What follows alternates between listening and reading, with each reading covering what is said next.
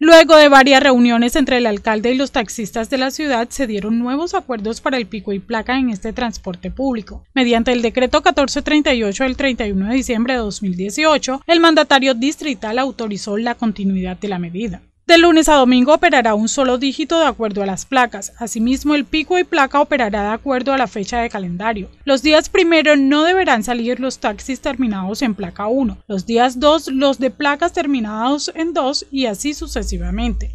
La medida establece además que los días sin motos no habrán restricciones para taxis, al igual que los días 31 para no afectar doblemente a los vehículos culminados en placa 1. Importante tener en cuenta que los taxis que deben salir a mantenimiento los días que tengan restricción deben salir sin la silla trasera y un aviso en el vidrio delantero que especifique taxi en mantenimiento. La medida empezará a regir desde el lunes 6 de enero del año en curso.